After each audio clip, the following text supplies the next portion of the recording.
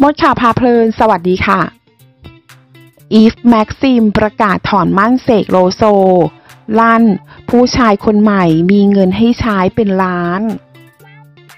เปิดใจครั้งแรกนะคะสำหรับอีฟแม็กซิมอดีตคู่หมั้นของเสกโลโซ ด้วยก่อนหน้านี้เป็นที่ทราบกันดีนะคะว่าเธอนั้นโดนขับไล่ ออกจากบ้านของอดีตคู่หมั้นแบบไม่ใยดีเลยค่ะ โดยฝ่ายชายนั้นไม่ได้ทำอะไรเลย ได้แต่อยู่เฉยๆ นิ่ง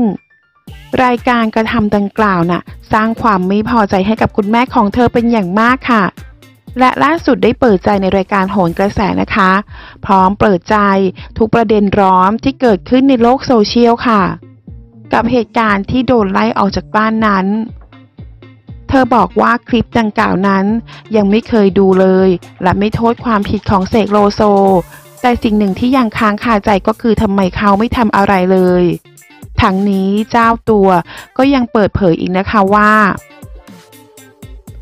เสกโลโซนั้นตามง้อเธอตลอด แต่ตอนนี้เธอได้ประกาศกลางรายการ บอกว่าถอนมั่นไปเป็นที่เรียบร้อยแล้วค่ะ และไม่มีทางจะกลับไปเหมือนเดิมได้ จากประเด็นที่เธอเคยบอกไว้ว่า ออกมาอยู่บ้านด้วยกันโดยเธอให้เวลาเสกโลโซหนึ่งเดือนนั้น แต่ว่าเสกโลโซก็ไม่ได้ทำอะไรเลย จนตอนนี้เป็นสิ่งที่ตัดสินใจ ได้เลิกรากับแฟนหนุ่มเท่านั้นยังไม่พอนะคะ ยังเผยว่าตอนนี้นั้นยังมีคนเข้ามาจีบเธอ โดยมัดจำก่อนหนึ่งล้านค่ะ มีคอนโดให้อยู่ มีรถให้ใช้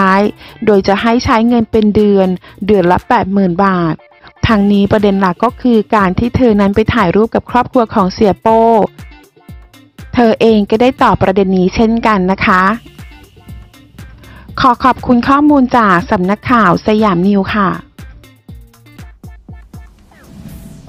ถ้าเพื่อนๆชอบคลิปนี้